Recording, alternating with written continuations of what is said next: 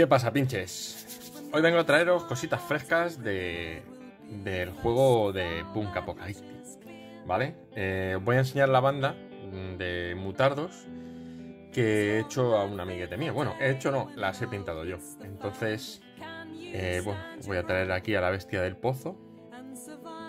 ¿Vale? Está pintada como si fuera el de bola de dragón.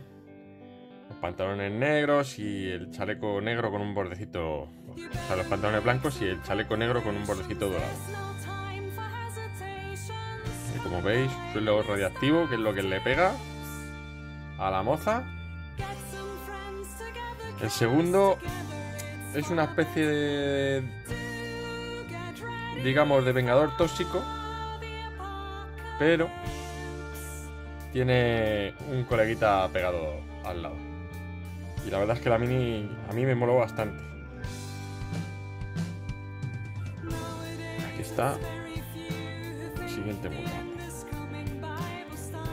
Luego el, el Sonic, ¿vale? Pintado con color clásico, ¿vale? Poquito, corriendo y como no. Vamos a poner una tele de esas con el anillo, ¿eh? para que quede bien, bien chulo. La penúltima, que es lila. La lila mutante. Le he puesto una espada, pegaba más el, la llave, pero le he puesto una espada porque porque creo que para hacer un filo medio o algo así, pues pega. Y ahí le he puesto, pues vende. Esto está hecho todo con masilla, así que ni tan mal. Eso. Y por último, bueno, otro más. Es una caja básica y, y por último tenemos aquí al, al coleguita este, el Mars Attack o sea, vosotros cada uno la habréis puesto de vuestra forma, pero yo le, quería poner, darle un toque más attack. Y atrás, que dicen que esto es una taza de un váter, pero yo le he puesto como el muñequito que viene del, del Crab Bandicoot, atrás.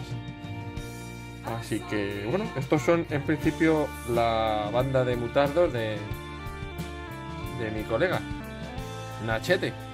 Así que si os gusta, pues ya sabéis, eh, darle al like y suscribiros. Por supuesto, como no, recomendaros nuestra tienda favorita para todo el hobby, que es Wargame Wargames. Y en el caso de Punk Apocalyptic, si queréis comprar las minis, os metéis en la página de Roll Games y allí podéis pillarlas. Un saludo.